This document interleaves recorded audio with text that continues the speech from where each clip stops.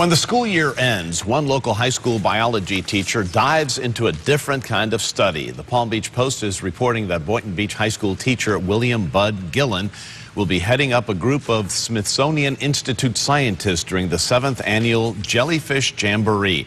This is the equivalent to the Audubon Society's bird count, but it takes place in Bonaire, a Dutch island off the coast of Venezuela, during the last two weeks of June. How about that? Who knew that?